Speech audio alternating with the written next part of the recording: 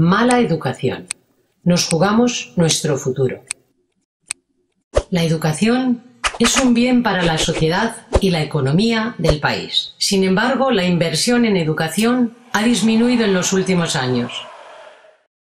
2010. Comienza la política de austeridad y la reducción del gasto público. 2011. Se concretan los recortes en la educación secundaria. Aumento del horario del profesor. Un aumento de horario de los profesores significará menos profesores por instituto menos atención por alumno y menos profesores de guardia, apoyo y desdobles.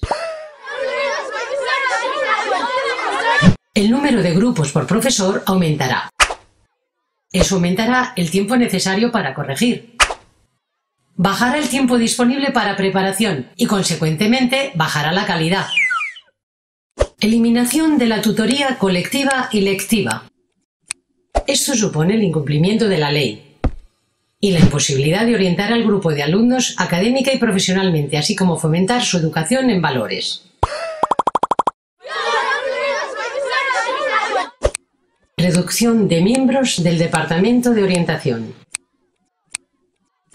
Esto supone menor atención a los alumnos con necesidades educativas especiales y los de riesgo de exclusión social.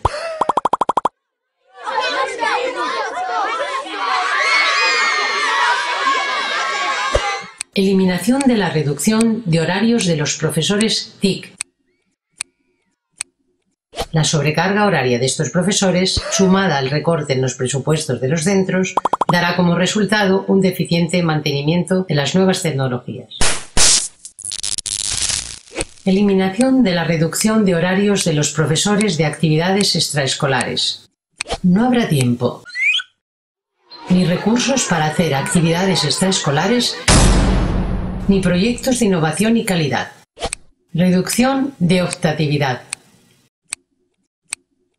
El aumento del número de alumnos necesarios para justificar una asignatura optativa reducirá la elección de dichas asignaturas. Recorte de formación. El abanico de posibilidades de formación permanente se reducirá a dos asignaturas, las nuevas tecnologías y el inglés. También se han eliminado las licencias por estudio. Esto aumentará el índice de desempleados. El profesor que se estaba formando se verá forzado a volver a su instituto y el interino que cubría su puesto se echará a la cola del paro. Disminución de liberados sindicales. Se perderán aún más puestos de trabajo cuando los liberados sindicales estén forzados a volver a sus institutos y los interinos que cubrían sus puestos volverán a engrosar la cola del paro. Reducción del sueldo del profesorado. Se han eliminado las pagas extras de los profesores. Se han reducido sus sueldos un 7%, mientras la cantidad de trabajo ha aumentado. Y como a los interinos no se les pagan los meses de julio y agosto, en septiembre sus alumnos serán evaluados por otro profesor distinto que no les conoce. La austeridad tiene un límite, sobre todo en educación que es la base de la sociedad estos recortes supondrán unas consecuencias muy graves y difíciles de corregir.